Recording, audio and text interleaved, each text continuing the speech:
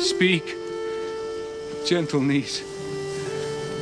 What stern, ungentle hands have lopped and hewed and made thy body bare of her two branches? Those sweet ornaments whose circling shadows kings have sought to sleep in. Why dost not speak to me?